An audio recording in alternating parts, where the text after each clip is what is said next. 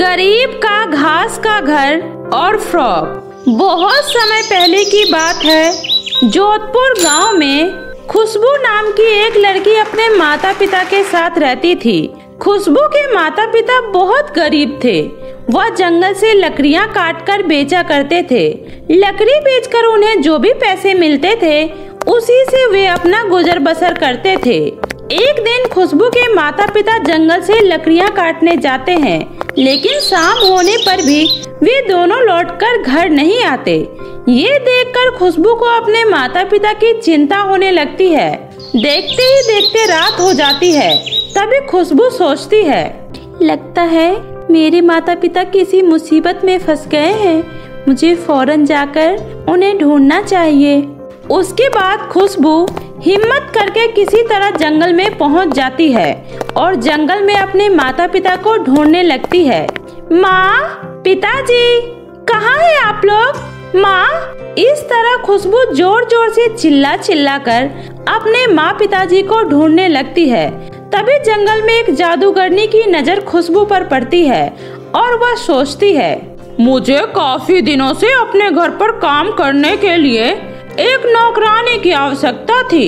ये लड़की मेरे घर की नौकरानी बनने के लिए बिल्कुल सही है। मैं इसे अभी पकड़कर अपने घर लेकर जाती हूँ। उसके बाद जादूगरनी खुशबू के सामने पहुँच जाती है। जादूगरनी का डरावना रूप देखकर खुशबू घबरा जाती है और वहाँ से भागने लगती है। लेकिन तभी जादूगरनी अपनी जादू से एक रस्सी निकालकर खुशबू के ऊपर फेंक देती है और उस रस्सी में खुशबू को जकड़ कर अपने और खींच लेती है। तभी खुशबू उस जादूगरनी से कहती है कौन हो तुम? छोड़ दो मुझे। मुझे घर जाने दो। प्लीज़ छोड़ दो मुझे। अब मैं तुम्हें नहीं छोड़ूँगी। आज से तुम मेरे घर की नौकरानी बनकर रहोगी और मेरे घर का सारा काम करोगी। नहीं नहीं अब मेरे साथ ऐसा मत करो। मैं यहाँ अपने माता पिता को ढूँढने आई हूँ। मैं आपके आगे हाथ जोड़ती हूँ। प्लीज़ मुझे छोड़ दो। जाने दो मुझे। तुम चाहे जितना भी गिरगिरा लो, लेकिन मुझे कोई फ़र्क नहीं पड़ने वाला। अब चुपचाप से चल मेरे साथ। उसके बाद जादूगरनी ज़बरदस्ती खुशबू को अपने साथ अपने घर ले जाती है और फिर जादूगरनी खुशबू से सारे दिन अपने घर का काम करवाती है। बेचारी खुशबू दिन भर काम करके थक जाती है। लेकिन जादूगरनी को उस पर बिल्कुल भी तरस नहीं आता है। उल्टा वो जादूगरनी खुशबू की पिटाई भी करती है। फिर एक दिन खुशबू मौका पाकर वहाँ से भागने लगती है। लेकिन जादूगरनी का पालतू कुत्ता खुशबू को भागते हुए देख लेता है और वह जादूगरनी को सारी बातें बता देता है। जादूगरनी भागते हुए खुशबू का पीछा करने लगती है और थोड़ी ही देर में वो खुशबू को पकड़कर अपने घर ले आती है। और वह जादूगरनी खुशबू से कहती है, लगता है मेरा मार का तुझ पर बिल्कुल भी असर नहीं पड़ा है। अब मैं तुझे ऐसी सजा दूँगी कि दोबारा तू यहाँ से भागने का सोचेगी भी नहीं। इतना कहकर जादूगरनी अपने हथियार से खुशबू का एक पैर काट देती है और उसे लोहे के जंजीर से बाँध देती है और वह खुशबू से कहती है, अब तू यहाँ से भागने की चाहे जितनी भी कोशिश कर ले लेकिन तू यहाँ से भाग नहीं पाएगी। अब तुझे मेरी ये जादुई लोहे की जंजीर तुझे वापस मेरे पास ले आएगी। इस तरह खुशबू पूरी तरह से जादूगरनी के कब्जे में आ जाती है। तभी एक दिन जादूगरनी खुशबू से कहती है, सुन रे लड़की, मुझे बहुत जोरों की भूख लगी है। तू नदी किनारे जा। नदी किनारे एक बहुत बड़ा फलों का पेड़ है। उस पेड़ पर रोज बहुत सारे पंछी आते हैं। अब तू जल्दी से जा और मेरे लिए ढेर सारे पक्षी को पकड़ कर ले आ। उसके बाद मैं मज़े से सारी पक्षियों को खाऊँगी। इतना बोलकर जादूगरनी खुशबू के हाथों में धनुष्वान पकड़ा देती है। उसके बाद खुशबू पंछियों को पकड़ने के लिए नदी किनारे पहुँच जाती है। लेकिन तभी अचानक नदी के किनारे बैठा मगरमच्छ खुशबू पर हमला कर देता है। खुशबू अपना जान बचाने के लिए मगरमच्छ पर वान चलाना शुरू कर देती है। लेकिन उन बानों का मगरमच्छ पर कोई असर नहीं पड़ता। यह देखकर खुशबू वहाँ से भागने की कोशिश करती है। लेकिन एक पैर कटा होने की वजह से खुशबू भाग नहीं पाती और ज़मीन पर गिर जाती है। खुशबू की हालत देखकर मगरमच्छ मुस्कुराने लगता है। लेकिन जैसे ही मगरमच्छ खुशबू को खाने के लिए आगे बढ़ता है तभी वहाँ पर रानी परी प्रकट हो जाती है। रानी परी अपनी जादू से जलता हुआ मसाल मगरमच्छ के ऊपर फेंक देती है, जिससे मगरमच्छ घबराकर पानी के अंदर भाग जाता है। खुशबू का एक पैर कटा हुआ था। यह देखकर रानी परी को खुशबू पर तरस आ जाता है। उसके बाद रानी परी खुशबू से सारी सच्चाई पूछती है और खुशबू रानी परी को बुरी जादूगरनी की सारी सच्चाई बता देती है। जादूगरनी के अत्याचारों के बारे में सुनने के बाद रानी परी को बहुत गुस्सा आता है और वह उसी वक्त अपनी जादुई शक्ति से एक तेज रोशनी प्रकट करती है। देखते ही देखते उस रोशनी से मौजूद आसपास के हरे भरे घास इकट्ठे हो जाते हैं और फिर थोड़ी देर बाद सभी घास आपस में जुड़कर एक घर का रूप धारण कर लेती है उसके बाद रानी परी अपनी जादुई छड़ी से एक घास का फ्रॉक प्रकट कर खुशबू को देते हुए कहती है, सुनो खुशबू, ये घास का घर कोई मामूली घर नहीं, बल्कि एक जादुई घास का घर है, और ये फ्रॉक भी जादुई है। यह फ्रॉक तुम्हारी हर इच्छा को पूरा करेगा। इस फ्रॉक से तुम जो कुछ भी मांगोगी, तुम्हारी सारी इच्छा पूरी होगी। सबसे पहले तुम इस जादुई घास के फ्रॉक को पहन लो और जाओ। उस जादूगरनी से अपना हिसाब बराबर कर लो। इतना क्या कर रानी परी? खुशबू के कटे हुए पैर को पूरी तरीके से ठीक कर देती है। उसके बाद खुशबू रानी परी की दी हुई जादुई फ्रॉक को पहनकर घर के अंदर जाती है और उस घर को जादूगरनी के पास चलने को कहती है। खुशबू के कहने पर घास का घर उड़ते हुए जादूगरनी के पास पहुँच जाता है। उसके बाद खुशबू घास के घर से कहती है, सुनो जादुई घास के घर, इस जादूगरनी ने मुझ पर बहुत अत्याचार किया है। आप इसी वक्त इसे सबक सिखाओ। खुशबू के इतना कहते ही उस जादुई घास के घर से एक बड़ी सी जादुई कुल्हाड़ी बाहर निकल कर आती है। और वो जादूगरनी पर हमला कर देती है। जादूगरनी को कुछ भी सोचने समझने का मौका नहीं मिलता। देखते ही देखते वो कुल्हारी जादूगरनी का दोनों पैर और हाथ काट देती है। तभी जादूगरनी खुशबू से कहती है, मैं तुम्हारे आगे हाथ जोड़ती हूँ, बेटा। मुझे माफ़ कर दे। मुझे मेरी गलती का एहसास हो गया है। प्लीज़, मुझे माफ़ कर दे। तू एक दुष्ट जादूगरनी है। तुझे तो माफ़ करने का सवाल ही पैदा नहीं होता। फिर थोड़ी ही देर में वो कुलारी जादूगरनी का सर काटकर उसके धर से अलग कर देती है। इस तरह जादूगरनी का अंत हो जाता है। उसके बाद जादुई घर से आवाज़ आती है, मैंने इस दुष्ट जादूगरनी का अंत कर दिया है।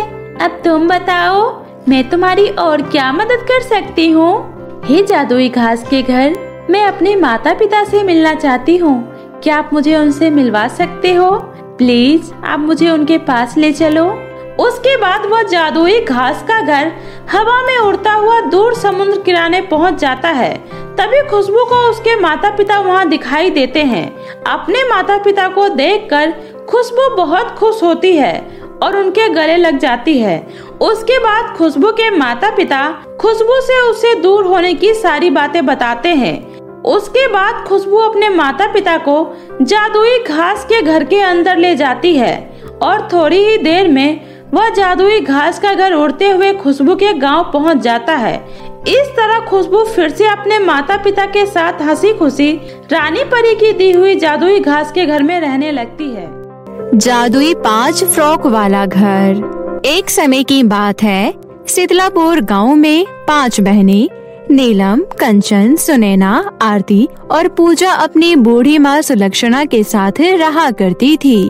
और सुलक्षणा के पति के देहांत के बाद सुलक्षणा ने लोगों के घर में साफ़ सफ़ाई का काम करके अपनी पाँचों बेटियों का पालन पोषण किया था। वो दिन रात लोगों के घरों में काम करके अपनी पाँच बेटियों की जरूरतों को पूरा किया करती थी। और ऐसे ही उनके दिन बीत रहे होते हैं। और कुछ दिनों बाद सुलक्षणा की सबसे छोटी बेटी पूजा का जन्मदिन आने वाला होता है। लेकिन उनकी गरीब हालत की वजह से स्कूल में हर कोई पूजा और उसकी बहनों का मज़ाक उड़ाया करता था। ऐसे ही एक दिन पूजा की क्लास की एक लड़की मीनाक्षी अपनी दोस्त कोमल से कहती है, कोमल, तुझे पता है, मेरी मम्मी मेरे लिए बर्थडे पर पहनने के लिए बहुत ही सुंदर और डिज़ाइनर फ्रॉक लेकर आएँगी। और उसे पहनकर तो मैं एकदम परी की तरह लगूँगी। अच्छा तुम बताओ, तुम क्या पहन कर आने वाली हो मेरे जन्मदिन पर? मीनाक्षी, मेरी मोम मेरे लिए फ्रॉक की मैचिंग की बहुत ही सुंदर सैंडल लेकर आई है। मैं वही पहनकर तुम्हारे बर्थडे पर आऊँगी। अच्छा वो सब तो ठीक है, लेकिन क्या तुम इन पाँच गरीब बहनों को भी अपने बर्थडे पर बुला रही हो? अरे, नहीं नहीं, इन पाँचों को अपने बर्थडे पार्टी में बुलाकर अपनी इंसल्ट करवानी है क्या? इसलिए मैं इन लोगों को अपने बर्थडे का इनविटेशन नहीं दे रही हूँ। तुमने बिल्कुल सही कहा मीनाक्षी। इन गरीबों को तो ये भी नहीं पता होगा कि बर्थडे राम की भी कोई चीज़ होती है। इनके लिए तो सारे दिन एक जैसे ही होते हैं और कहा हम लोगों के हर एक दिन खास होते हैं। और हाँ इन लोगों के पास तो ढंग के कपड़े भी नहीं होंगे। तो क्या ये लोग हम लोगों के कपड़ों की बराबरी करेंगे? इसलिए हम लोगों के डिज़ाइनर फ्रॉक को देख कर ही अपना मन बहला लेना। क्योंकि तुम लोगों की किस्मत में डिज़ाइनर फ्रॉक पहनना तो लिखा ही नहीं है। इतना कहकर मीनाक्षी और कोमल उन पाँचों बहनों का बहुत मज़ाक उड़ाती है। तभी पूजा की चारों बहनों को उनकी बातें सुनकर बहुत गुस्सा आता है। उसी समय नीलम कहती है तुम लोगों को हमारी गरीबी का इस तरह मज़ाक उड़ाने का कोई हक नहीं है। हम लोग गरीब हैं, तो इसमें हमारी कोई गलती नहीं है। तुमने बिल्कुल सही कहा नीलम इन लोगों को हमारे इस तरह मज़ाक नहीं उड़ाना चाहिए। और नहीं तो क्या अगर हमारे पिताजी ज़िंदा होते तो आज हमारी हालत ऐसी नहीं होती। सुने ना दीदी, आप इन लोगों को मुँह मत लगाइए, क्योंकि ऐसे लोगों को मुँह लगाकर कोई फ़ायदा नहीं है। उसी समय पूजा उन दोनों लड़कियों से कहती है, सुनो मीनाक्षी और कोमल, अगर आज के बाद तुम दोनों ने हमारी गरीबी को लेकर जरा सा भी मज़ाक उड़ाया तो इस बार मैं तुम्हें छोड़ूँगी नहीं। इसलिए चुपचाप यहाँ से चली जाओ और ये अपनी अमीरी का घमंड कहीं और दिखाना हमारे सामने नहीं। पूजा इतना कह रही होती है कि उसी समय स्कूल की छुट्टी हो जाती है और वो पाँचों बहनें अपने घर वापस आ जाती है। लेकिन उनके मन में कहीं न कहीं मीनाक्षी और कोमल की बातों से ठेस पहुँचती है, जिसकी वजह से उनके चेहरे पर उदासी साफ़ साफ़ ज़ाहिर हो रही थी और उनके इन उदास चेहरों को देखकर उनकी माँ सुलक्षणा उनसे पूछती है, क्या हुआ मेरी प्यारी बच्चियों? आज तुम लोग इतना उदास क्यों लग रही हो? कुछ हुआ है क्या? माँ, हमारी गरीबी की वजह से स्कूल में सारे बच्चे हमारा मज़ाक उड़ाते हैं। हाँ माँ, और उनकी बातें सुनकर हम लोगों को बहुत बुरा लगता है। और माँ, आपको पता है, कुछ दिनों बाद पूजा का जन्मदिन आ रहा है, और इस वजह से भी स्कूल में बच्चों ने हमारा बहुत मज़ाक उड़ाया है। हाँ माँ, क्योंकि उन लोगों को लगता है कि हम लोग ना ही कभी जन्मदिन मना सकते हैं और ना ही अच्छे कपड़े पहन सकते हैं। तुम लोग चिंता मत करो मेरी बच्चियों।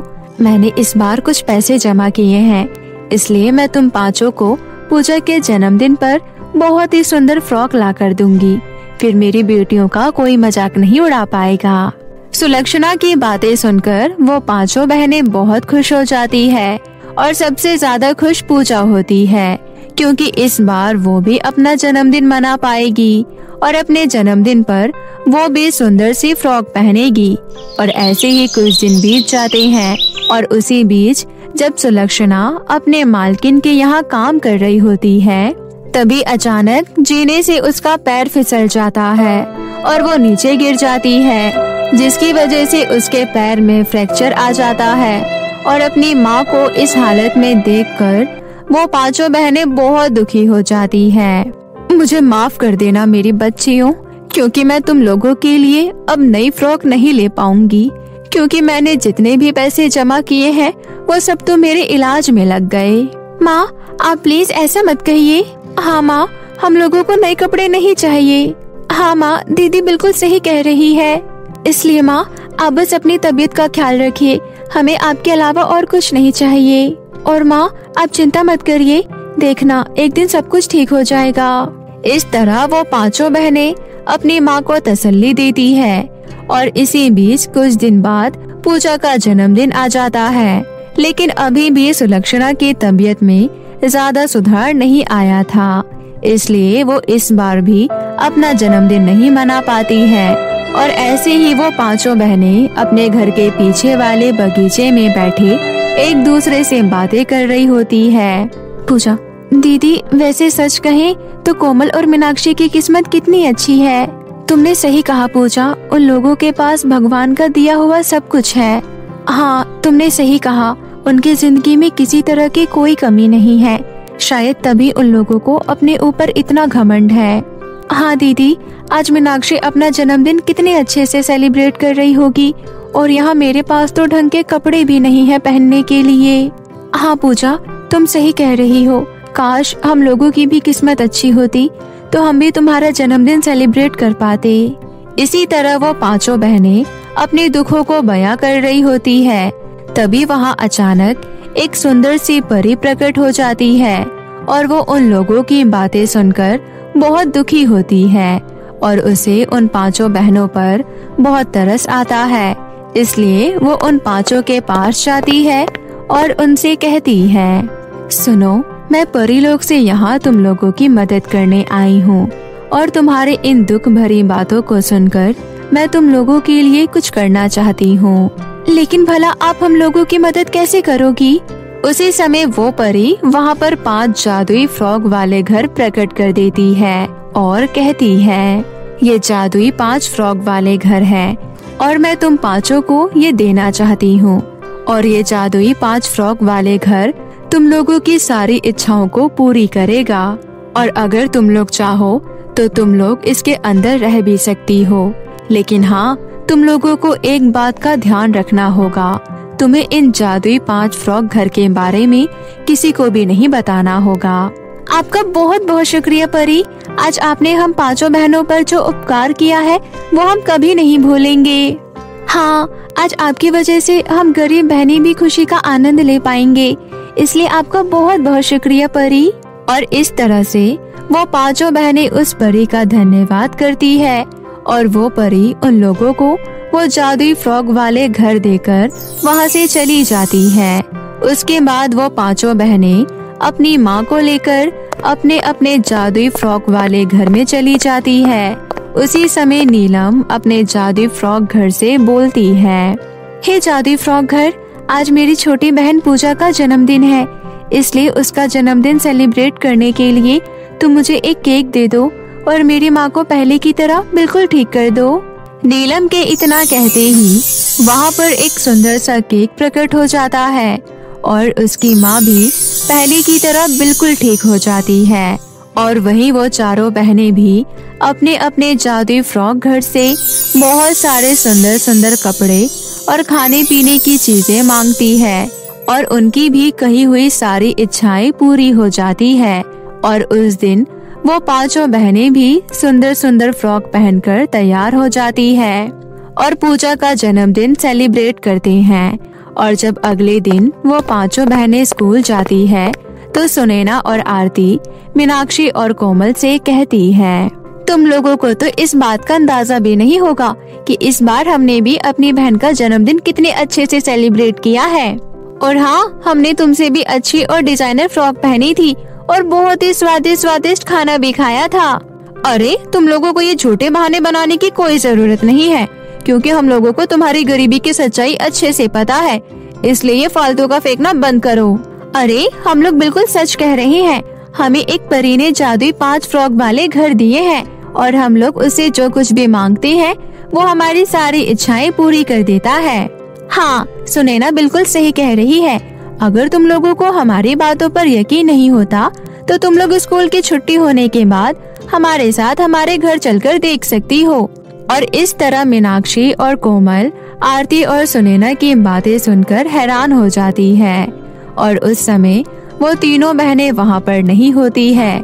इसलिए उन्हें इस बात का अंदाज़ा भी नहीं होता कि उनकी दोनों बहनों ने मीनाक्षी और कोमल को उर्जादी फ्रॉक घर के बारे में बता दिया है।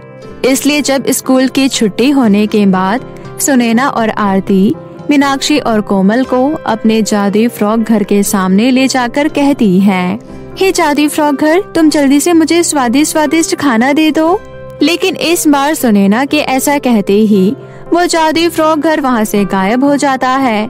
और ऐसी ही आरती भी जब अपने जादुई फ्रॉक घर से कुछ मांगती है तो उसका भी जादुई फ्रॉक घर वहाँ से गायब हो जाता है। और इस तरह वो बाकी के जादुई तीन फ्रॉक घर भी वहाँ से गायब हो जाते हैं, जिस वजह से उन लोगों की कोई भी इच्छा पूरी नहीं होती।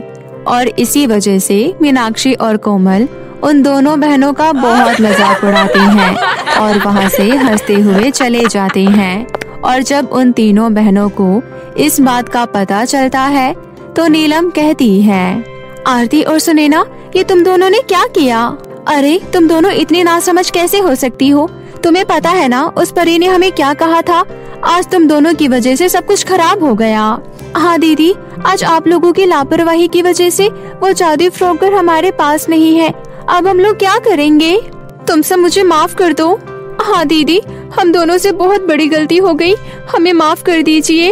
उसी समय वो परी वहाँ पर फिर से प्रकट हो जाती है और वो कहती है सुनैना और आरती, मैंने उन जादू फ्रॉक घर के बारे में किसी को बताने से इसलिए मना किया था, क्योंकि अगर ये किसी लालची और बेईमान इंसान के हाथ लग जाए तो वो लोग इसका गलत उपयोग करेंगे। इसलिए अब जब तुम लोगों को अपनी गलती का एहसास हो गया है तो वो जादुई पाँच फ्रॉक घर तुम्हारे पास वापस आ जाएँगे और फिर से तुम्हारी सारी इच्छाओं को पूरी करेंगे। लेकिन आगे से इस बात का ध्यान रखना कि उन जादुई पाँच फ्रॉक घर की सच्चाई किसी के सामने ना आ पाए। अच्छा तो अब मैं चलती हूँ। उस परी के वहाँ से जाते ही, वो जादुई पाँच फ्रॉक घर वहाँ पर फिर से प्रकट हो जाते हैं। और उस दिन के बाद से, वो पाँचों बहनें खुशी खुशी उस जादुई फ्रॉक घर में रहने लगती हैं। और उनके पास अब किसी भी चीज़ की कोई कमी नहीं होती है। और वो लोग अपना जीवन खुशी खुशी व्यतीत करने लगती हैं।